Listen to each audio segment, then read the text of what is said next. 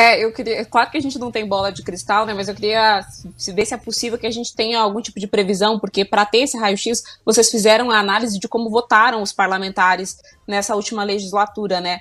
Como é que a gente pode é, analisar ou pensar as pautas que estarão, então, nesse Congresso, considerando agora esse maior equilíbrio entre direita e esquerda? Você acredita que pautas que até então, digamos que estavam ali interditadas, podem entrar em votação, podem entrar na discussão do país?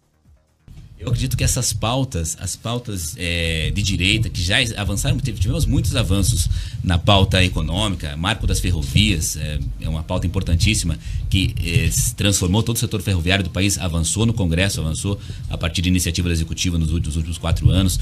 É, reformas importantes, a reforma administrativa, com certeza a reforma administrativa é uma que é, tende a ter ganhar impulso se tivermos uma eleição do Bolsonaro. Uma eleição do Lula tende a resfriar e botar é, água fria aí na reforma administrativa.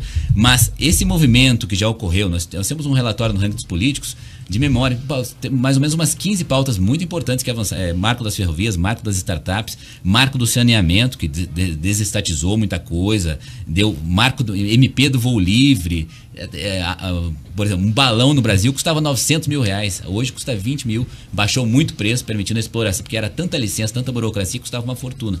Liberou fomentando o turismo. Então, tem várias pautas que avançaram e que tendem a continuar avançando com toda certeza com esse Congresso mais é, à direita e centro-direita que a gente acabou, que a gente elegeu nessa, nessa eleição de 22. E também é importante destacar é, que o Congresso Nacional é a grande segurança que nós temos no país. Né? Nós, é, ainda que eleja um candidato mais ligado às ideias de esquerda, com um Congresso é, como esse que a gente tem, certamente não há risco de censura, de regulação de mídia, que é algo que existe em Cuba, em Vietnã, em Venezuela, em países que tem uma, não tem liberdade de expressão e que o candidato aqui é, vem, vem defendendo, o candidato de, da ligado à esquerda vem defendendo. Então, isso passa pelo Congresso Nacional. Então é importante termos esse Congresso pelo seguinte, que pautas como essa certamente não avançarão ainda que Lula venha a ser eleito, né?